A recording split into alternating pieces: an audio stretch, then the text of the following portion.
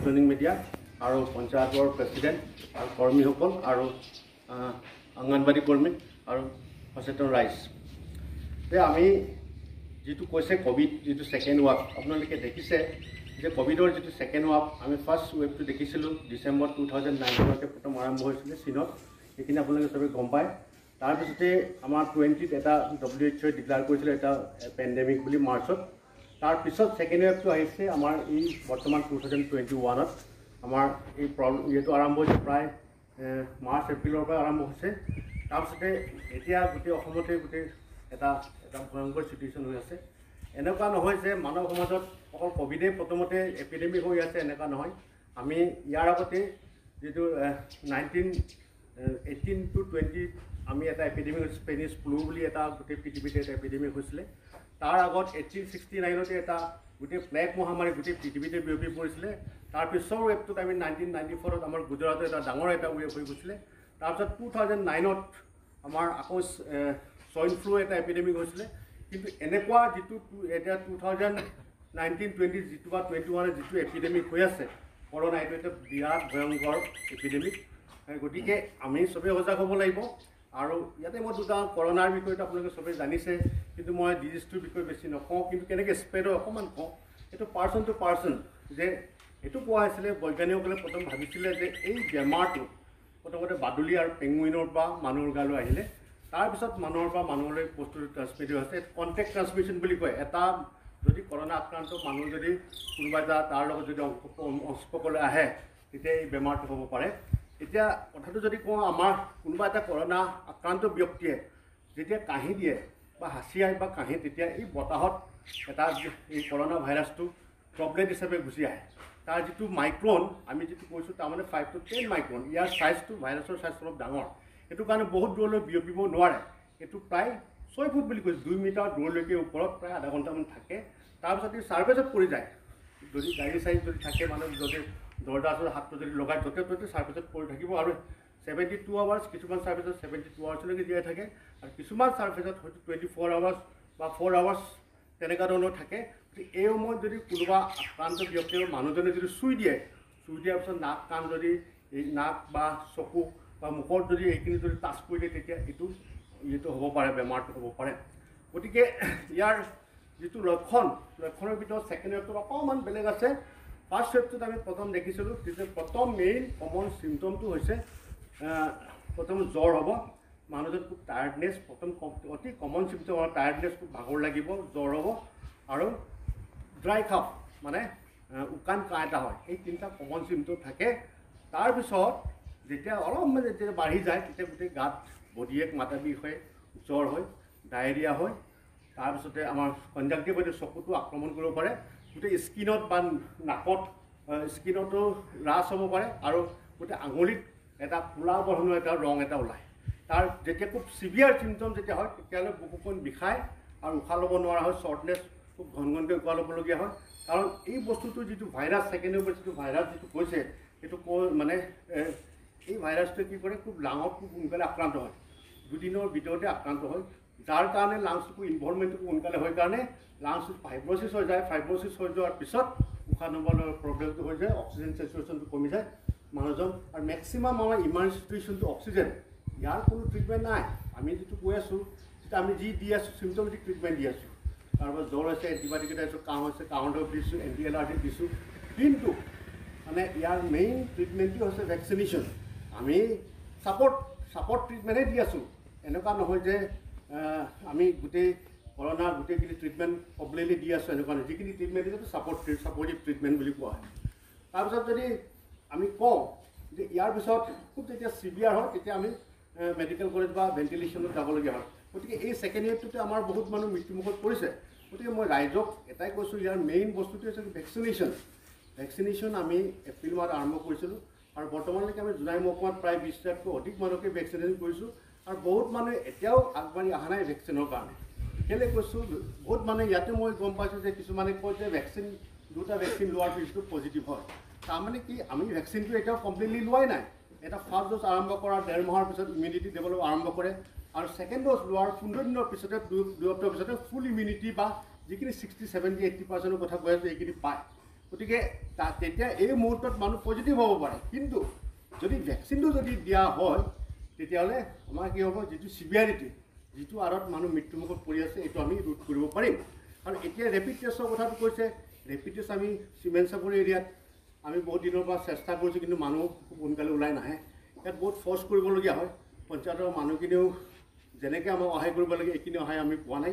আৰু ইয়াতে দেখিছোঁ আপোনাৰ চিমেণ্ট চাপৰি ইয়াত আপুনি চাই যদি চেঙাজানত পজিটিভ ৰেট আছে যোৱাকালি আমি তাৰ আগদিনাখন লামাজানত চাৰিটা পজিটিভ কেছ পাইছোঁ। তাৰপিছত আৰ বি চিত পজিটিভ কেছ আছে চিমেণ্ট চাপৰি বজাৰত আছে। কেৰণিত আছে আৰু চমকমত আছে তাৰপিছতে এইপিনে কুঁহিয়াৰবাৰীত আছে ডেকাপাম অঞ্চলত আছে। গতিকে এনেকুৱা বহুত এৰিয়াত বিয়পি গৈছে। এনেকুৱা নহয় যে চিমেণ্ট চাপৰি ইয়াত কৰোণাত নাই।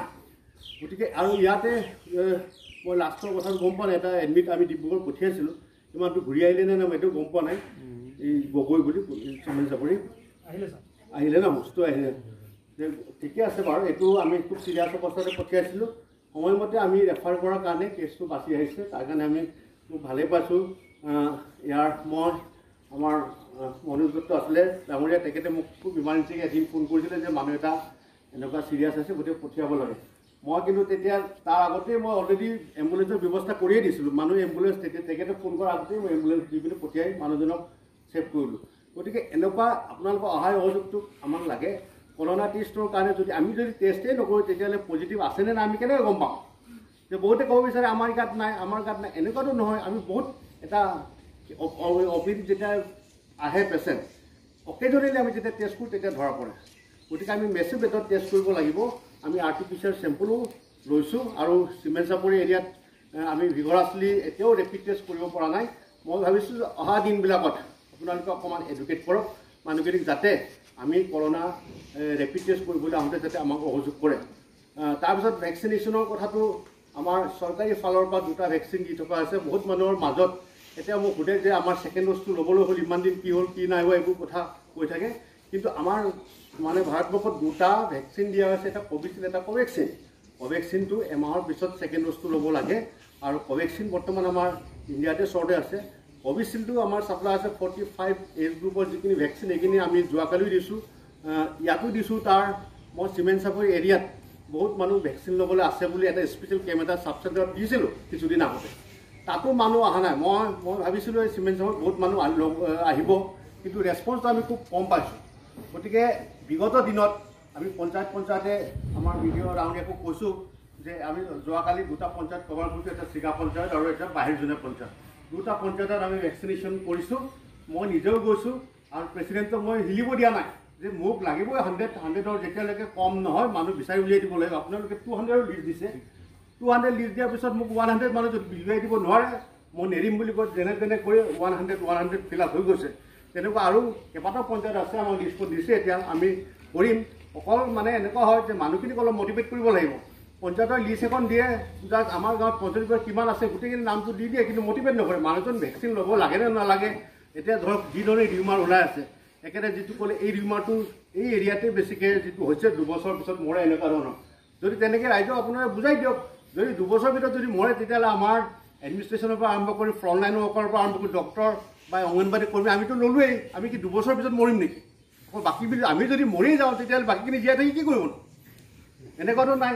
গতিকে এই বস্তুটো আপোনালোকে ৰাইজক বুজাই দিব লাগে আৰু যাতে আমাৰ যিকোনো কামত সহযোগ কৰিব লাগে আৰু আমাৰ আৰু একৈছ জুনৰ পিছত যিমানখিনি গম পাওঁ ভেকচিন এভেইলেবল হ'ব। কোভেক্সিনৰ যিখিনি ছেকেণ্ড ড'জ আছে সেইখিনিও আমি দিব পাৰিম। আৰু যিখিনি ফাৰ্ষ্ট ড'জ ফাৰ্ষ্ট ড'জটো প্ৰথমতে আমি যেতিয়া প্ৰথম আৰম্ভ কৰিছিলোঁ তেতিয়া এমাহৰ মূৰত দিয়া আছিলে। তাৰপিছতে দুশ ছিক্স উইক্স মানে ডেৰ মাহত আমি ছেকেণ্ড ড'জটো দিছিলোঁ।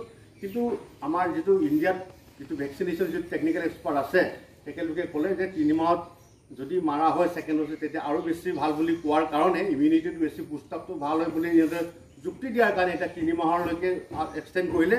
আৰু বহুতৰ এতিয়া আৰু এমাহৰ পিছত ছেকেণ্ড ড'জ ল'বলৈ হ'ব। আমাৰ ভেকচিন এভেইলেবল হ'ব। মাত্ৰ মই ৰাইজক অনুৰোধ কৰিছোঁ যাতে আমি যিখিনি ষ্টেপ লৈ আছোঁ ৰেড টেষ্ট কৰিছোঁ বা এডমিনিষ্ট্ৰেশ্যনে আপোনালোকে চাওক সিদিনাখন আমাৰ দুজন মেজিষ্ট্ৰেট গৈছে ইয়াত আৰ বি চিত তেতিয়ালৈকে বাৰটা গোটেই দিনটোত বাৰটা মানুহ আছে তাতে। তাৰপিছত মই বাৰটাত পাইছোঁ মইতো একদম মাথা গৰম কিমান হৈ গ'ল বাৰটা হ'ল তাৰপিছতে মই নিজে আকৌ চিমেণ্ট আৰু পুলিচক নি টিম এটা লৈ মানুহ ঘৰে ঘৰে উলিয়াই পিনি পঁচিছ- পঁয়ত্ৰিছটামান কৰিলোঁ আৰু এটা পজিটিভ ধৰা পৰিলোঁ তেনেকুৱা ধৰণৰ মানে মানুহৰ অসহযোগ যদি নাথাকে গাঁওবুঢ়াখিনি যদি অসহযোগ নাথাকে তেতিয়াহ'লে আমি আমাৰ ওলকাৰটো আমি ঘৰে ঘৰে টানি আনিব নোৱাৰোঁ। কিন্তু লোকেল হিচাপে আপোনালোক পঞ্চায়ত কৰ্মী হিচাপে আপোনালোকে যদি এইখিনি যদি ৰাইজক বুজায় আৰু কিবা যদি অসুবিধা হয় আমাৰ এডমিনিষ্ট্ৰেশ্যন আছে আমি আছোঁ। কিবা যদি বুজাবলগীয়া আছে আপোনালোকে মাতিব। এনেকৈ যদি মিটিঙলৈ মাতক আমি দিম তাৰ উত্তৰ দিম। গতিকে এইখিনি যদি কৰোঁ তেতিয়াহ'লে আমি জোনাইখন কৰোণামুক্ত এতিয়াও আমাৰ জোনাইত এইটো পজিটিভ ৰেটটো খুব কম হৈ আছে ওৱান পইণ্ট ফাইভ ছিক্স হৈ আছে। আজিৰ দিনটোত কিন্তু প্ৰায় এতিয়ালৈকে আমাৰ যিমানখিনি টেষ্ট কৰিলোঁ সাতটামান পজিটিভ ওলালেই। এটা ঘৰতে লাইমিকুৰিটো আমাৰ ওলাই আছে এটা মাজুলীপুৰত এটা ঘৰত পাঁচটা ওলাইছে। মই এইমাত্ৰ আহিছোঁ এটা ঘৰত পাঁচটা ওলাইছে। তাৰপিছতে তেনেকুৱা গাঁওবিলাকতো সোমাই আছে গতিকে এনেকুৱা নহয় অকল টাউনতে আছে এনেকুৱা নহয়। গাঁৱৰ ভিতৰত সোমাই চেগাজনৰ নিচিনা গাঁও গাঁৱত যদি পজিটিভ হয় মেচাকি চাবৰ নিচিনা যাব যদি ছটা সাত থাকে যদি ওলায় আমি যাকে টেষ্ট চবকে টেষ্ট কৰাই নাই। যদি এশটা টেষ্ট কৰোঁ তাতে ছটা আঠটা এনেকৈ ওলাই আহে গতিকে আপোনালোকে ভাবক যে চবতে এইটো সোমাই আছে। আৰু বিশেষকৈ আমাৰ পজিটিভ থাকিলে কি হয় এটা ঘৰত যদি বয়সস্থ ব্যক্তি যদি থাকে ষাঠি বছৰ ওপৰত যদি বা পঞ্চাছ বছৰ ওপৰত যদি থাকে তেওঁলোকে আৰু কমৰবিডিটি যদি থাকে কমৰবিডিটি মানে কাৰোবাৰ ডায়েবেটিছ আছে কাৰোবাৰ হাইপাৰ টেনশ্যন আছে কাৰোবাৰ কিডনি ডিজ আছে এনেকুৱা ধৰণৰ থাকে তেতিয়া সোনকালে আক্ৰান্ত হৈ মৃত্যু মুখত পৰিব পাৰে।